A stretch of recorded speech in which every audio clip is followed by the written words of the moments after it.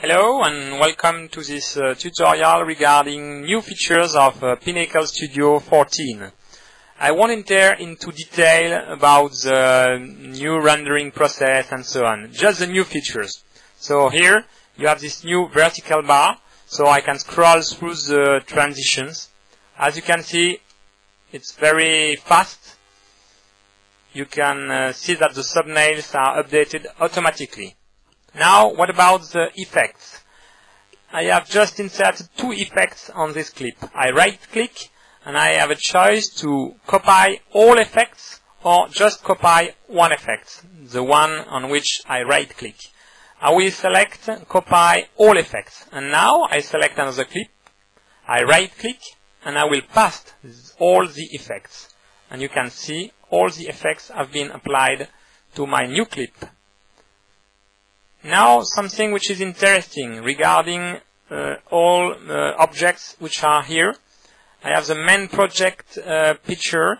If I click on it, I will open this small window where I have all my video clips, all my pictures, audio, and also others like Pinnacle Montage.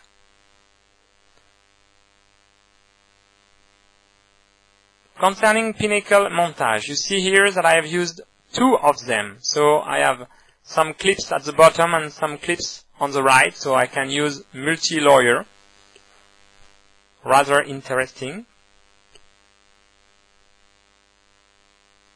Now we'll see something called favorites folder. You see here I have all my clips. If I go up, I will go to the top level, to the um, folder, now I have something which is called my favorites folder. If I right click on a folder, I can add it as favorite folder. So define as a favorite and you will see the orange star.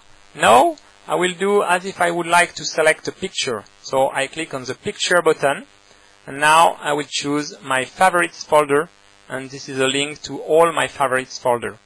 So rather easy and practical. Let's go back to the Pinnacle montage. I will double click on it. What's new now you can modify the font, uh, the font, the font style, the size, the color, but also in addition you can remove the background here. So you can replace it by a video. If I have something else than pictures, I will show you with video. I can also modify the entry, entry point of the video and I, I, can also modify the position of my uh, pinnacle montage here.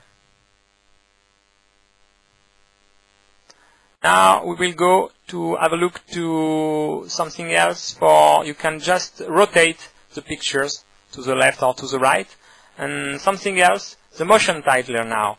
If I double click on it we will come back to it later on in other tutorials but just to show you, there is a timeline, you can add some objects, some text, and so on. I will just change the effect here. So um, I will double click on an effect, and then I will press OK, and you will see that my effect is applied in an easy way. Okay, thank you for listening to me. And bye bye, see you soon!